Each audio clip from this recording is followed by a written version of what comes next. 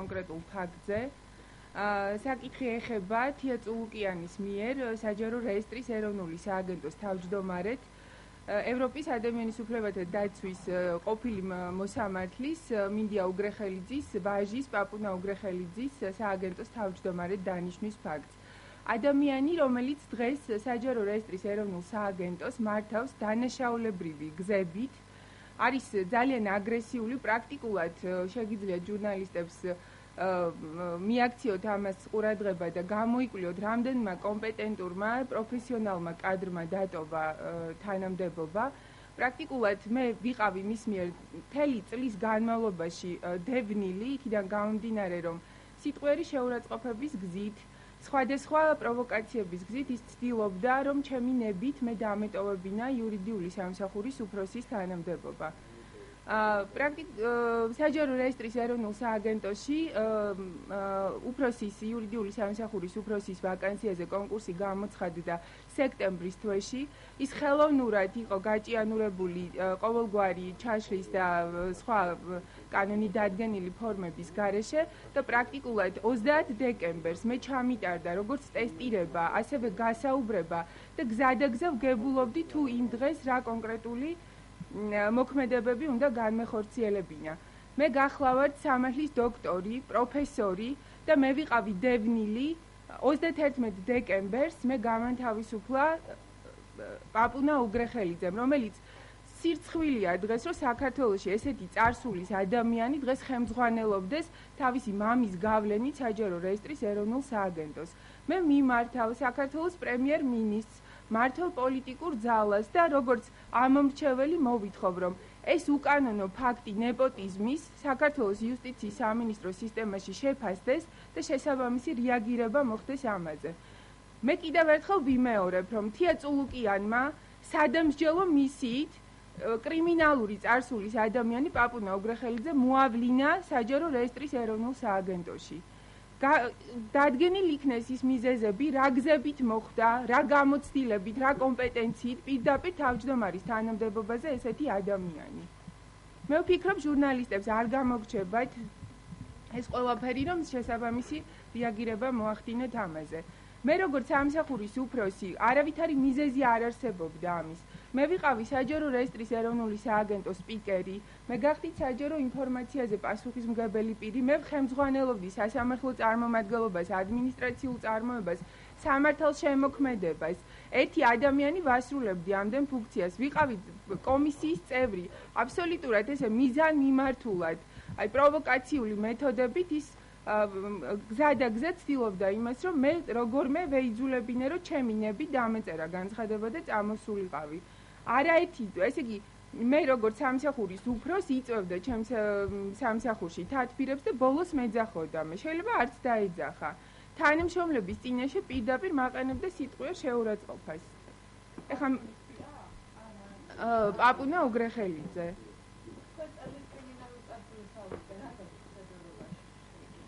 ხედულობაში მაქვს ის, რომ როდესაც გამოცხადდა საჯარო რეესტრის ეროვნული სააგენტოს თავმჯდომარის ვაკანსია, საკონკურსო პირობებში მითითებული იყო, რომ ყველა შეეძლო მიიღო მონაწილეობა, ყველა შეეძლო მიიღო მონაწილეობა მიუხედავად ნასამართლეობისა. მე ვსვავ კითხვას, როდის უნდა დასრულდეს ამ ქვეყანაში დიპლომის არ მქონე ადამიანების და ესეთი წარსულის მქონე ადამიანების მაღალ თანამდებობებზე დანიშნის შემთხვევები. პირველი მისმა მამამ მინდია უგრეხელიძემ გამოეკომაგა ფარცხალაძის შემთხვევას, როდესაც უდიპლომო ადამიანი გენერალური პროკურორის თანამდებობაზე აცხადებდა პრეტენზიას. ეხლა ჩვენ გვაინტერესებს საზოგადოებას, მისი ვაჟიშვილი გარდა იმისა, რომ არის მინდია უგრეხელიძის შვილი, რა დამსახურებისთვის იკავებს ამხელა თანამდებობას, რა კომპეტენციის, სად უმუშავია, რა ავტობიოგრაფიული მონაცემები გააჩნია მას. ყველაფერი ეს გახდეს საზოგადოებისთვის ცნობილი შესაბამისი სამსახურების მიერ.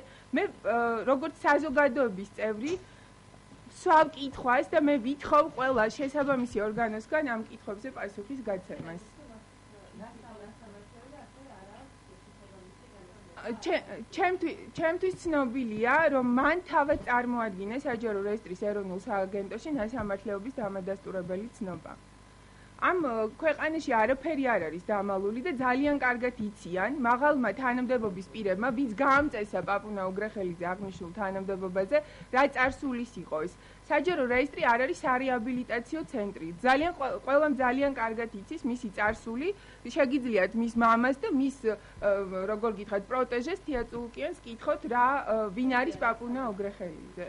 მე არ არის ეს ჩემთვის ცნობილი. მოგეხსენებათ რომ ნასამართლეობის შესახებ ცნობა ჟურნალისტებს შეგიძლიათ კანონის მოთხოვნათა დაცვით გამოითხოვოთ და გაერკვეთ რა რა კომპეტენციის არის ეს ადამიანი და ისთვის არის ნასამართლები? მე ვსვამ ამ კითხვას.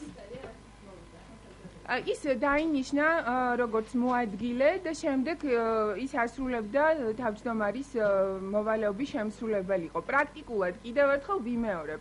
ყველა კვალიფიციურმა კადრმა, რომელიც სიმდიდრეა უწყებისთვის, როდესაც ესეთი განათლების ადამიანები არიან, განახორციელა დევნა, შეურაცხყოფის და სხვადასხვა გზებით ის ცდილობდა, რომ ადამიანებს თავისი ნებით დაეტოვებინა სამსახური. ეხლა მე ვსვავ ამ კითხვას. მე გახლავართ სამართლის დოქტორი, მაქვს ჩემს ქვეყანაში უმაღლესი სამეცნიერო ხარისხი.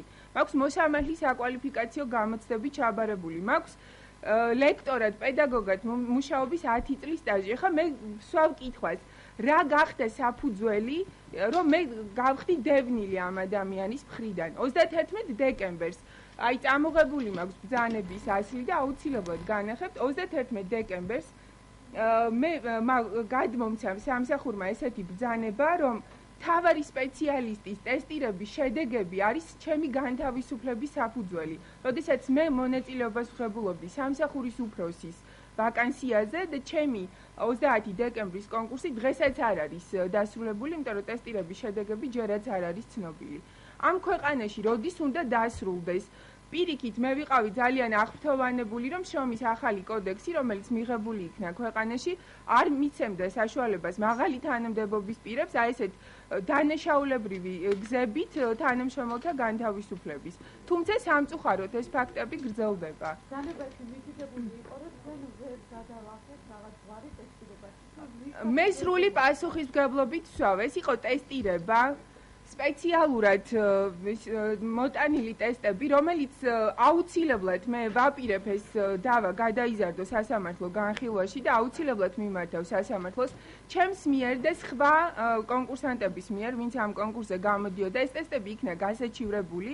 ტესტები იყო ყოველად მიზან შეუწონელი იმ ვაკანსიისთვის, რომელიც იყო, როგორ გიხარ, ძალიან ჩემი სპეციალობით და ჩემ სფეროში ყველა საკვალიფიკაციო გამოცემა მაქვს ჩაბარებული. ადვოკატურის, მოსამართლის გამოცდები. ტესტები მოიცავდა აფხაზეთის სტატუსის საკითხს. ტესტები მოიცავდა ისეთ საკითხს, რომელზედაც ადგილობრივი თვითმმართველობის შესახებ კანონიდან და აი ესეთი სახელმწიფოსთვის ჯერ კიდევ გაურკვეველი საკითხები. არა მარტო ჩემს მიერ გასაჩივრდა ტესტები, ტესტები გასაჩივრდა ძალიან ბევრი კონკურსანტის მიერ. ტესტები, როგორ გითხრათ, ადამიანები დაახლოებით ჩვენ ვიყავით 10-12 კაცი, ვინც კონკურსზე გავედით და ტოვებდნენ პროტესტის ნიშნად, რომ ეს იყო კონკურსი, რომელიც იყო სპეციალურად იმისთვის ჩატარებული, რომ მე თამარ შოთაძეს დამეტოვებინა ეს თანამდებობა. 27 დეკემბერს მე მამის 40-ზე დამიბარა ტესტირებაზე პაპუნა უგრეხელიძემ. აქ უკვე იმაზე კი არ არის საუბარი რა კანონდარღვევები განხორციელდა. აქ არის მორალურ მხარეზე საუბარი რომ ადამიანები ყოველგვარი მორალური რაღაცა წესების გარეშე დღეს იკავებენ და საზოგადოებასთან აქვს საქმე. გესმით რაშია საქმე? ჩვენს გარდა მოხდა განთავისუფლება ჩემს გარდა იყო თანამშრომლები რომლებიც განთავისუფლდნენ მაგრამ იქიდან გამომდინარე რომ მე ძალიან დიდი პროტესტი მქონდა. მე პრაქტიკულად ბოლო ერთი კვირა ძალიან მწვავე განცხადებებს ვაკეთებ სოციალური ქსელის მეშვეობით. ეს თანამშრომელი ერთი იყო ფეხმძიმე ქალბატონი მეორე თანამშრომელი. ჩვეულებრივ დღეს ისინი იმიტომ რომ მე ვიყო გამოკვეთილად დევნილი და მე მომაწერონ ის რომ თურმე მე ტესტირებებს ვერ ვაბარებ. ისინი დაბრუნებული იქნენ სამსახურში ანუ თქვათ მარტო არის საუბარი რომ მე გამომიშვეს მე გამომიშვეს ყველა მოთხოვნის ანუ კანონმდებლობა დღეს რაც აწესრიგებს ტესტირების საკონკურსო წესებს იყო ყველაფერი დარღვეული აბსოლუტურად. სადმე რომელ ნორმატიულ აქტში წერია რომ არ უნდა იცოდეს კონკურსანტმა რა ნორმატიულ აქტს აბარებს, არ უნდა იცოდეს დაახლოებით 10 დღით მაინც ადრე. როგორია თქვენ წინა დღეს როცა გირეკავენ რომ ტესტირება გაქვს და თქვენთვის სრულიად წარმოუდგენელია ყველა კონკურსანტი ვინც იღებულობდა მონაწილეობას დაადასტურებს რომ ჩვენ გავედით ისეთ კონკურსზე რომელიც არ ვიცოდით რა რა ნორმატიული აქტებისგან შედგებოდა და საერთოდ კომპეტენციის ზღვარი რამდენი იყო. არც ერთმა კონკურსანტმა არ იცოდა. აუცილებლად მე მიმართავ სარჩელით სასამართლოს მე დაწერილი მაქვს განცხადება ვითხოვ ინფორმაციას საჯარო რეესტრის ეროვნული სააგენტოდან როგორც კი ეს ინფორმაცია იქნება ჩემთვის ჩემს ხელთ მე აუცილებლად სასარჩელო მოთხოვნით მიმართავ თბილისის საქალაქო სასამართლოს მე თქვენ მახსოვხართ ერთხელ? არა, ჩამწერეთ.